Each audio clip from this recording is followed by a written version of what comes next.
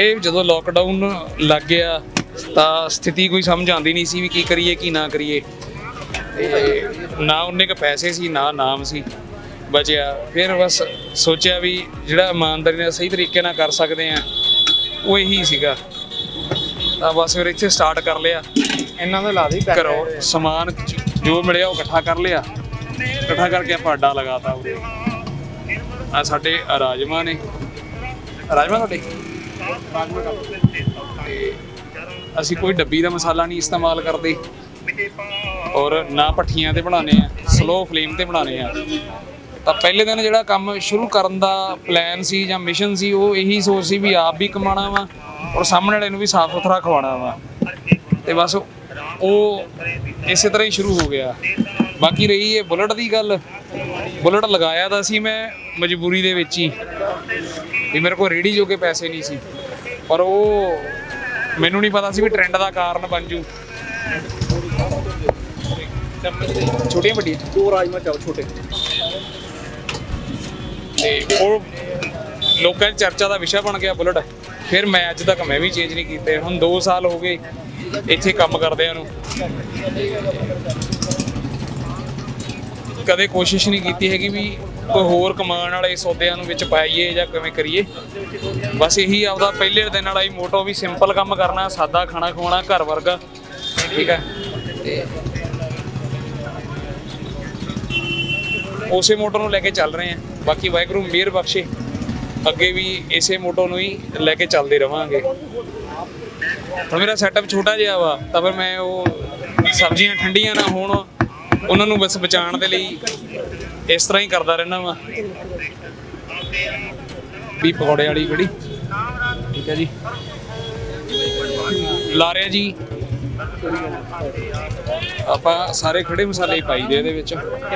ਇੱਕ ਰਾਜਮਾ ਜਾਂ ਤੁਸੀਂ ਦੇਖ ਲਓ ਪਕੌੜਿਆਂ ਵਾਲੀ ਕੜੀ ਹੈ ਮੇਰੀ। ਔਰ ਹੁਣ ਸ਼ਾਮ ਦੇ 3:30 4 ਹੋਏ ਹੋਏ ਨੇ ਤੇ ਇਸ ਟਾਈਮ ਤੱਕ ਵੀ ਆਪਾਂ ਇਹਨੂੰ ਠੰਡੀ ਨਹੀਂ ਹੋਣ ਦਿੰਦੇ। ਫਿਸ਼ ਵੀ ਚੰਗੀ ਤਰ੍ਹਾਂ ਮਿਕਸ ਕਰਕੇ ਲਵੋ। ਚਾਹੇ ਖਾਣ ਵਾਲਾ ਗ੍ਰਾਹਕ ਆ, ਚਾਹੇ ਲੈ ਕੇ ਜਾਣ ਵਾਲਾ ਵਾ, ਉਹਨੂੰ ਵੀ ਇਦਾਂ ਚਾਵਲ ਸੁੱਕਾ ਨਾ ਮਿਲੇ। ਸਬਜ਼ੀ ਦੀ ਆਪਾਂ ਕੋਈ ਟੈਨਸ਼ਨ ਨਹੀਂ ਲਈਦੀ, ਵੱਧ ਘੱਟ, ਇਹ ਕਦੇ ਨਹੀਂ ਸੋਚੀਦਾ। ਚਟਨੀ ਪਾਣੀ ਵੀ ਜੀ ਸਿਮਰ ਆ ਕੜੀ ਪੈਕ ਕਰ ਦੇ। ਮੈਂ ਆ ਕੇ ਪਹਿਲਾਂ ਖੜਾ ਇੱਕ ਤਾਂ ਆਪ ਨੂੰ ਹੀ ਸ਼ਰਮ ਸੀ ਕੋ ਪਹਿਲਾਂ ਕਾਰੋਬਾਰ ਕਰਨੇ ਵਾਲਾ ਸੀ, ਚੰਗਾ ਵਧੀਆ ਕਾਰੋਬਾਰ ਸੀ, ਸੋਚਿਆ ਹੀ ਨਹੀਂ ਸੀ ਕਦੇ ਰੇੜੀ ਫੜੀ ਲਗਾਵਾਂਗੇ।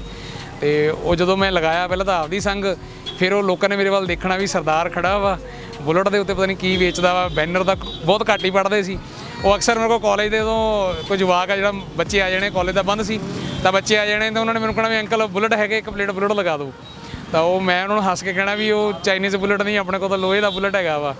ਤੇ ਉਹ ਹੌਲੀ ਹੌਲੀ ਫਿਰ ਜਿਵੇਂ ਜਿਵੇਂ ਲੋਕਾਂ ਨੂੰ ਪਤਾ ਲੱਗਿਆ ਤੇ ਅਕਾਲ ਪੁਰਖ ਨੇ ਆਪਦੀ ਕਿਰਪਾ ਬਖਸ਼ੀ, ਜਿਹੜਾ ਸਵਾਦ ਸੀ ਸਾਡਾ, ਮੈਂ ਨਹੀਂ ਕਹਿੰਦਾ ਵੀ ਸਾਡਾ ਸਵਾਦ ਆ, ਪਰ ਜਿੱਦਾਂ ਦਾ ਅਸੀਂ ਬਣਾਣੇ ਆ, ਉਹ ਸਾਹਮਣੇ ਵਾਲਿਆਂ ਨੂੰ ਜੇ ਪਸੰਦ ਆ ਗਿਆ ਤਾਂ ਉਹ ਰਿਪੀਟ ਸਾਡੇ ਕੋਲ ਵਾ- ਵਾਪਸ ਆਉਂਦੇ ਰਹੇ ਤੇ ਉਹ ਫਿਰ ਉਹਨਾਂ ਨੂੰ ਪਤਾ ਲੱਗਣ ਲੱਗ ਗਿਆ। ਤੇ ਬਾਅਦ ਚੋਂ ਹੁਣ ਜੇ ਮੇਰੇ ਕੋਲ ਉਦੋਂ ਪੈਸਾ ਹੁੰਦਾ ਜਾਂ ਮੈਂ ਕਾਰੋਬਾਰ, ਮਤਲਬ ਕੁਝ ਮੇਰੀ ਫਾਈਨੈਂਸ਼ੀਅਲੀ ਹੈਲਥ ਠੀਕ ਹੁੰਦੀ ਤਾਂ ਮੈਂ ਰੇੜੀ ਫੜੀ ਦੇ ਉੱਤੇ ਲਗਾਉਂਦਾ।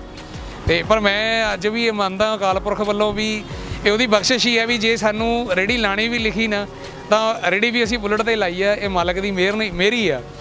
ਤੇ ਬਾਕੀ ਫਿਰ ਮੈਂ ਬੁਲਟ ਨਹੀਂ ਕੱਢਿਆ ਜੀ। ਉਹ ਨਾਮ ਤਾਂ ਮੇਰਾ ਰੱਖਿਆ ਹੀ ਹੋਇਆ ਸੀ ਵੀਰ ਜੀ ਬੁਲਟ ਵਾਲੇ। ਤੇ ਬਹੁਤ ਬੰਦੇ ਨੇ ਕਿਹਾ ਵੀ ਇਹਨੂੰ ਇਦਾਂ ਆਈਟਮ ਹੋਰ ਕਰ ਲਾ ਰੈਡੀ ਕਰ ਲਾ। ਨਹੀਂ, ਮੈਂ ਕਿਹਾ ਵੀ ਇਹ ਬੁਲਟ ਨਹੀਂ ਹੁਣ ਕੱਢਣਾ। ਤੇ ਜਦੋਂ ਸਟਾਰਟ ਕੀਤਾ ਸੀ, ਬੜੇ ਫਾਈਨੈਂਸ਼ੀਅਲ ਹਾਲਾਤ ਖਰਾਬ ਸੀਗੇ। ਈਵਨ ਦੇ ਨੇ ਬੁਲਟ ਦੀਆਂ ਕਿਸ਼ਤਾਂ, ਬੱਚਿਆਂ ਦੀ ਫੀਸ, ਘਰ ਦੀ ਬਿਜਲੀ, ਇਹ ਸਾਰੀਆਂ ਚੀਜ਼ਾਂ ਡਿਸਟਰਬ ਸੀਗੀਆਂ। ਪਰ ਦੇਖੋ, ਉਹ ਵੀ ਦੁੱਖ ਵੇਲੇ, ਅਰਦਾਸ, ਸੁੱਖ ਵੇਲੇ, ਸ਼ੁਕਰਾਨਾ।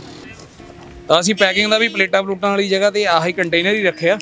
ਉਹਦਾ ਕਾਰਨ ਵੀ ਇੱਕ ਤਾਂ ਇਹ ਹਾਈਜੀਨਿਕ ਆ, ਸਾਫ਼ ਸੁਥਰਾ। ਦੂਜਾ ਬੰਦਾ ਖਾਂਦਾ ਖਾਂਦਾ ਵੀ ਜੇ ਜਾਣਾ ਉਹਨੇ, ਕਿਉਂਕਿ ਜ਼ਿਆਦਾ ਮੇਰੇ ਕੋਲ ਕਸਟਮਰ ਆ, ਉਹ ਵਰਕਿੰਗ ਹੀ ਆ। ਤੇ ਖਾਂਦਾ ਖਾਂਦਾ ਹੀ ਬੰਦਾ ਇਹਨੂੰ ਪੈਕ ਕਰ ਸਕਦਾ ਵਾ ਔਰ ਲਿਜਾ ਸਕਦਾ। ਤੇ ਮੈਂ ਨਹੀਂ ਚਾਹੁੰਦਾ ਸੀਗਾ ਵੀ ਕੋਈ ਬੰਦੇ ਨੂੰ ਆਪਾਂ ਧੋਤੀਆਂ ਹੋਈਆਂ ਪਲੇਟਾਂ ਜਾਂ ਉਦਾਂ ਦਾ ਕੋਈ ਝੂਠ ਮੂਠ ਜੇ ਵਾਲਾ ਖਵਾਈਏ। ਤੇ ਇਸੇ ਕਰਕੇ ਇਹ ਕੰਟੇਨਰ ਹੀ ਰੱਖਿਆ ਮੈਂ।